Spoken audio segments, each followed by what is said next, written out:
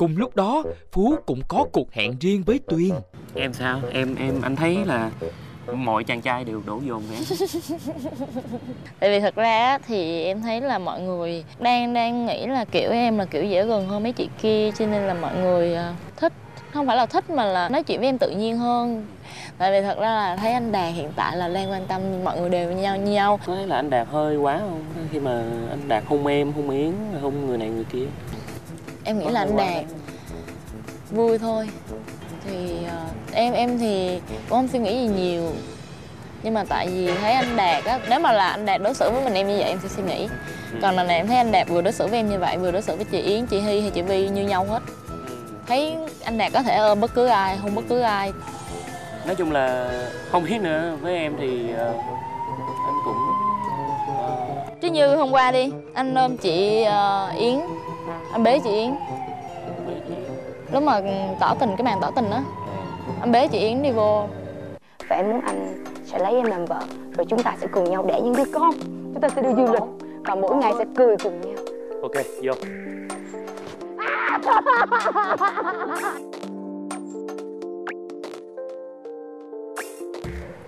Thì anh bế chị Yến thôi mà. Anh bế Yến thôi mà anh có làm gì đâu. Nhưng mà chưa ai bế em như vậy hết. Ông Đạt ổng ôm em tối ngày em kêu chưa bế nhưng mà có bế đâu. Ôm Không bế nhưng mà ổng ôm cứng ngắc. Lúc mà lúc mà nghe phú nói là phú khó chịu khi mà mình với anh đạt vô tư quá à, hình như phú đang ghen.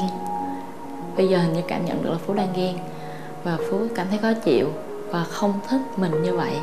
Tại vì anh đang thấy là em Thôi thì chắc là em đang mến anh Đạt không là- phải. Thật ra nghĩa ôm em cũng bình thường mà. Anh có thấy nghĩa ôm em không? Nghĩa ôm em nhưng mà không phải theo kiểu của anh Đạt ôm. Kiểu anh Đạt ôm là ôm choàng vào lòng luôn.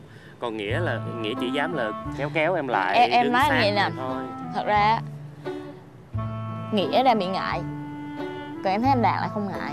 Tại vì anh đạt đang có suy nghĩ tất cả mọi người đều như nhau đều là bạn bè. Thì anh anh đạt vô tư quá. Em đang có suy nghĩ như vậy còn nghĩa không dám hành động với em như vậy. Tại vì nghĩa bị ngại. Ừ. tại vì nghĩa thích em. Thì em đang có suy nghĩ như vậy. Anh thì anh không thích của cách của Nghĩa. Cách của Nghĩa là phản bác lại tất cả mọi người Giống như là bảo vệ em như là em của riêng Nghĩa. Nói chung anh thấy anh Đạt ờ, hôn em hay là ôm em này nọ anh cũng rất là bực. Nhưng mà tại vì anh không có vai trò gì để anh có thể nói anh Đạt được. Anh Ờ. có thể nói mà Nói gì giờ? Thì anh có thể nói là em chưa phải là bạn gái của anh đạt mà tại sao anh lại hôn như vậy như vậy là không không không tốt. Tại vì thực sự thì sau khi anh Đạt hôn em thì anh em vui vẻ.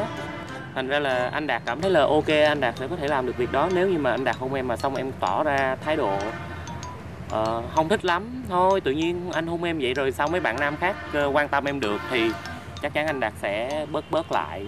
Còn này anh Đạt thấy em vui thì anh làm sao mà anh nói được? Nhìn cũng bực chứ bộ, nhìn cũng bực chứ bộ.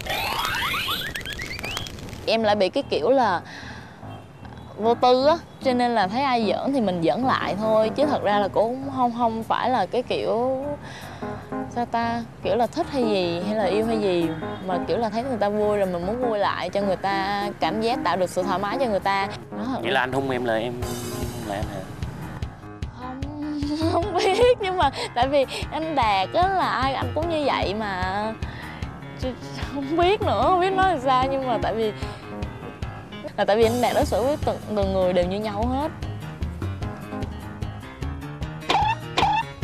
Nè thí dụ nè.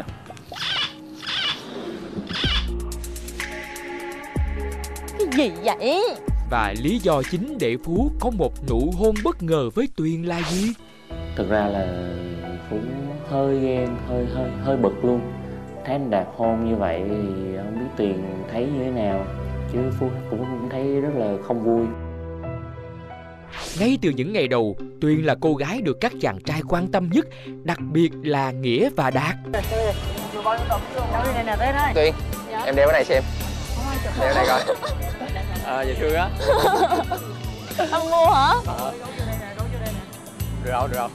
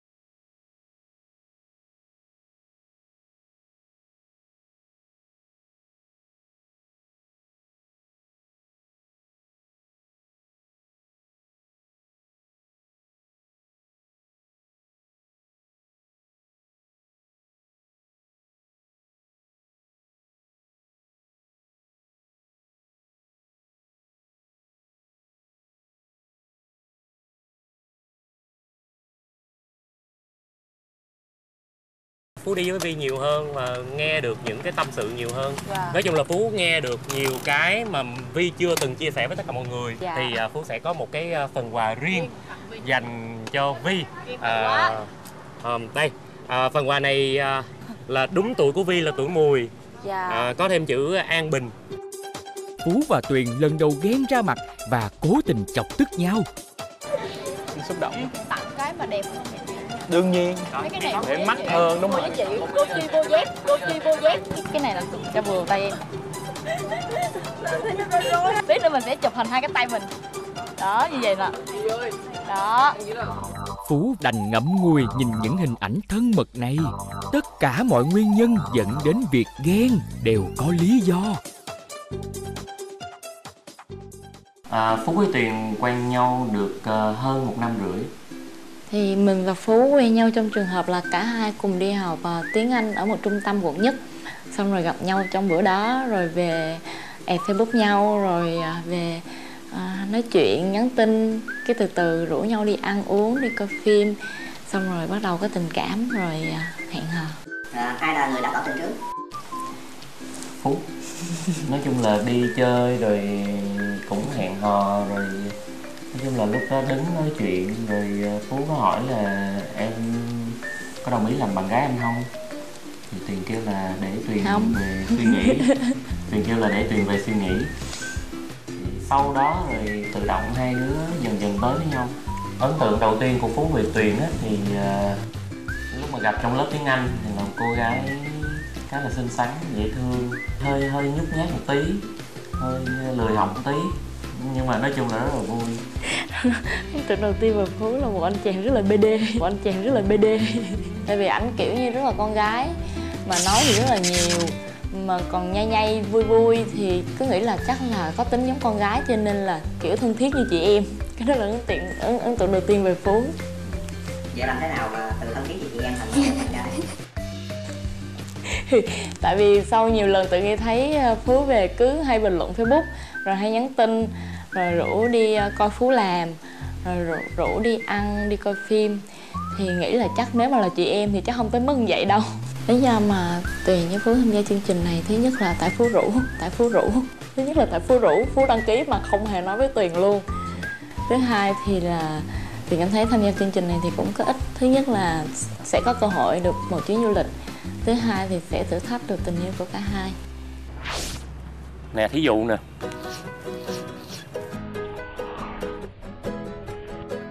gì vậy? Cái này là khác của Ủa, anh đạt là thì, thì, cũng là bất ngờ cũng là không bất ngờ thôi. Của anh đạt là giỡn mà cái này anh đâu phải giỡn đâu. cũng cũng một người hung thì gọi là giỡn một người khác hung thì em gọi là không gọi là giỡn. Chứ vừa rồi của anh là cái gì?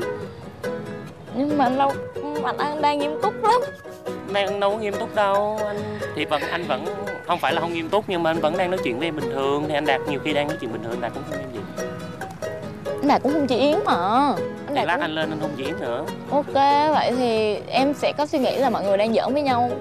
Kỳ vậy trời hung mà. Khi nào mà anh đạt hôn một mình em á thì em sẽ có suy nghĩ khác. Còn không ý này là ý là cái việc hung mà em em có vẻ cho nó dễ dàng quá tùy tình cảm của em thôi. Em không phải là do tình cảm ép buộc ai được đâu. Không thật ra em không phải là có tình cảm với anh đạt cũng không phải là có tình cảm với ai. Hiện tại em không có tình cảm sâu sắc với ai hết mọi người em đều coi như nhau hết. Em không có suy nghĩ về cái vấn đề tình cảm nhiều cho nên là em thấy ai vô tư thoải mái thì em cũng vô tư thoải mái lại. Nhưng mà nếu mà sau khi anh nói như vậy á, thì em cũng thấy là em hơi sai cho nên chắc là em sẽ điều không gì chỉnh đâu lại. thì thì anh việc mà em cư xử như thế nào đó là chuyện của em anh không thể quyết định được. Thì em thấy nó sai thì nó sai nhưng mà em thấy nó đúng thì em cứ việc làm theo cái cái mà em nghĩ là đúng. Em cảm thấy là những cái bạn nữ mà ở chung phòng với em á khi mà không có những bạn nam á có riêng em á thì mọi người ờ, có suy nghĩ ờ, anh không phải là con trai một trăm phần trăm. Cho nên là mọi người ờ, cả anh đạt nữa anh hiểu không? Mọi người đang suy nghĩ anh là cả anh đạt luôn Ừ. không phải là con trai một trăm phần trăm. Vì tụi em suy nghĩ anh đạt như vậy mà tụi em có thể để cho anh đạt ôm hay hung này nọ thì thực ra trước mắt mọi người hoặc là trước mắt người xem thì họ sẽ thấy là tụi em đang đang đang khá là dễ với cái anh này. Thì ờ, anh không muốn là tụi em ờ, bị mất đi cái sự gọi là sự tôn nghiêm của mình trong mắt người khác. Thành Đúng. ra là anh góp ý như vậy thôi còn tụi em xem như thế nào để mà tụi em có thể thì em em em hơn. em đồng ý với cái góp ý của anh. À, mọi người còn nói là anh đi truyền trắng nữa mà em hỏi là tại sao lại biết phú đi truyền trắng Ừ. thì chị yến với lại mọi người bảo là tại vì ít có người con trai nào mà trắng bóc từ trong ra ngoài từ trên xuống dưới như vậy hết. Ủa ghê người ta trắng mà cũng bị đó nói nữa. cho nên là nhiều khi bây là giờ là đen rồi hồi đó Ừ. là còn trắng hơn nữa. Thì đó nhiều khi là cái ngoại hình nó nó làm bị nghi ngờ đẹp quá nghi ngờ. đẹp quá đúng rồi đúng rồi cái nét của anh giống con gái á cho nên là bị bị nghi ngờ nhiều. Mà em thì mỗi lần mà nói như vậy thì em chỉ biết ồ vậy hả vậy hả vậy hả? Thôi là không dám biết nói gì hết thực ra nếu mà anh như vậy thì anh cũng không tham gia hành trình này để làm tại những cái thái độ của anh là thật. Em em có cảm giác là anh hơi bực hay là anh ghen với anh đạt hay là anh ghen với nghĩa đúng không? Em có thấy như vậy đúng không? Anh anh hay có nói lại nghĩa. Thì đó thành ra nếu mà anh anh anh không phải là Tại vì thì anh sẽ không không không có những cảm xúc đó đâu. Về sài gòn thì em chắc là sẽ từ từ nói chuyện lại với mọi người xong rồi sẽ cố gắng làm thay đổi mọi người đi thật sự là mới đầu thì không lo đâu nhưng mà tới bây giờ thì cũng hơi ờ, lo ngại. Vì ờ, từ mến thì lại có thể dẫn đến thích dẫn đến rất là nhiều những cái sau này. Tới thời điểm hiện tại á, thì tình cảm mình với phú thì vẫn không có gì thay đổi. Hôm nay nói chung là lúc mà trên xe á, thì mình với anh đạt nói chuyện riêng với nhau rất là nhiều. Mà lúc đó thì cái mic hình như là bị tắt cho nên là hình như là chương trình không nghe được thì anh đạt có nói một câu á thì chỉ có mình mình nghe thôi là anh thích em nhiều lắm. Anh Đạt, anh đạt có nói như vậy nếu mà anh đạt có thật sự là có tình cảm với em hay không thì ờ, em cũng sẽ cần anh đạt nghiêm túc hơn và không nên giỡn quá nhiều về những cái hành động đó. Sau hôm nay thì ờ, mình lại thích tuyền nhất. Thì như mình nói ờ, hôm trước mình cũng hơi nghi là tuyền đang là một trong cặp đôi bí ẩn của chương trình á. Nhưng mà kệ, thì mình bắt đầu mình có cảm tình rồi thì mình cứ tìm hiểu coi xem như thế nào, rồi xem xem có dấu hiệu gì đó hay không thì mình tính tiếp.